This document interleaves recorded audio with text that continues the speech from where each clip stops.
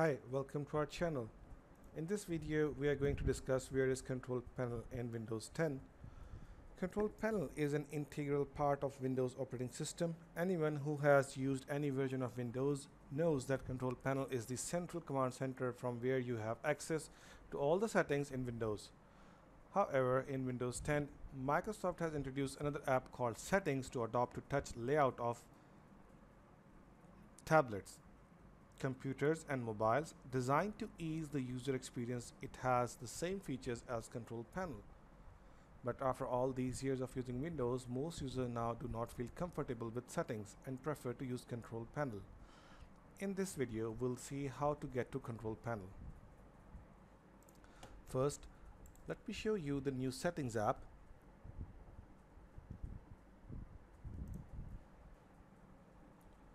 so this one is this screen is the new settings app.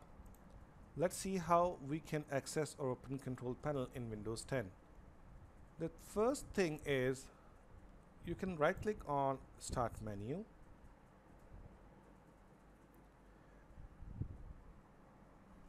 And you will find control panel right under the task manager if you're using an old version of Windows 10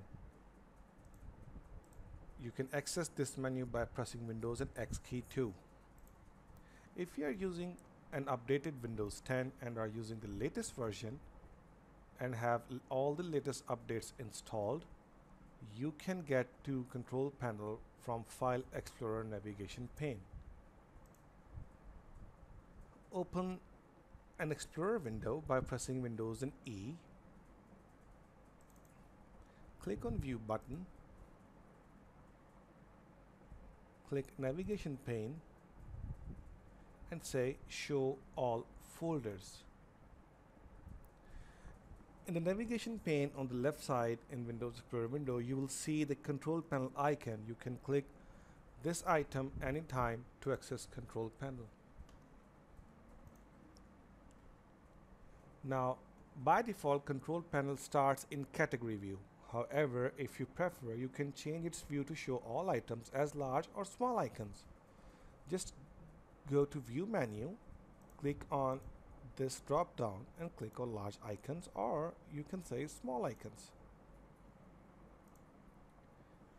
The other way to get into control panel is press Windows and R key, type control panel and hit enter.